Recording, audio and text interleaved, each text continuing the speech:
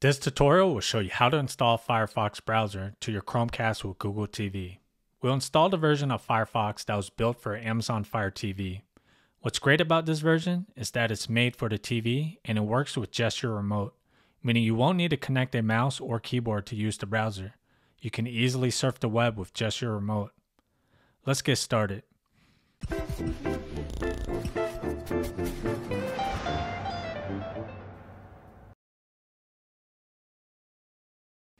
On the home page, we're going to go all the way right to settings and we're going to go into settings. And go down to system and go down to about and go all the way down to Android TV OS build and click on it seven times. You should see you are now a developer. And if you press back on your remote and go down, you should see developer options. Now we're going to return to our home screen and we're going to go to the search icon, go down to the search bar and click into it. And we're going to search for downloader. It should be the first result, downloader by AFTV News. Click into it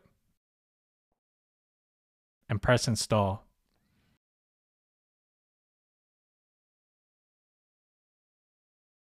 Once it's installed, we're going to open it. Now press allow and press OK. Now we're going to go up to the URL field and click into it. And we're going to enter bit dot ly slash fff, that's four F's, TV, and this is a shortened link I created to download a Firefox installation file. And we're going to scroll down, and this part is important. We're not going to download the latest version. You want to scroll down even further to the previous versions, and you want to download version 4.7.1. This version doesn't have the banner on top that you can't remove, and I'll show you what I mean. This is the latest version of Firefox, and it has a banner up on top that you can't close. You could hit learn more, but it'll just take you to this page. That banner will always be there, but otherwise you could still use the app. But version 4.71 doesn't have this banner. So click the download link, press settings, and turn on install unknown apps for downloader. Now press install and then hit done. Now press back on the remote to return a downloader and we're going to delete the installation file since we no longer need it. So hit delete and hit delete again. So now if we return to our home screen and go to apps, under your apps, you should see Firefox is now installed. So let's open it up.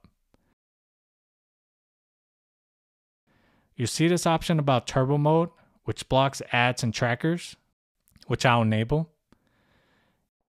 You can sign into your account or hit not now. And here you got your pinned tiles or favorites and some settings. And up top is the address bar. So we're going to go to youtube.com.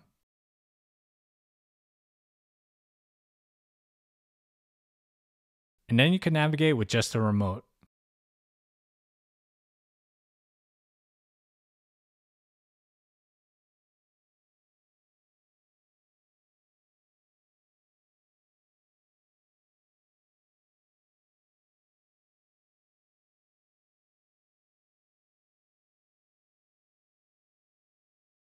So one thing I did notice is you have to press back on your remote to return to the main page to access the address bar again.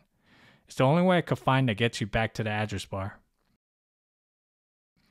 But that's pretty much it. This browser works really well on the Chromecast with Google TV. Thanks for watching, and I hope this video helped you out.